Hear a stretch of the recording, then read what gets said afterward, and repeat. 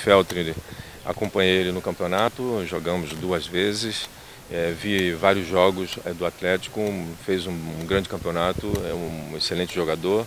Esperamos que ele tenha aqui a mesma felicidade, que tenha o mesmo desempenho que ele teve lá. O Rodolfo já conheço, trabalhamos juntos no Fluminense, na seleção olímpica.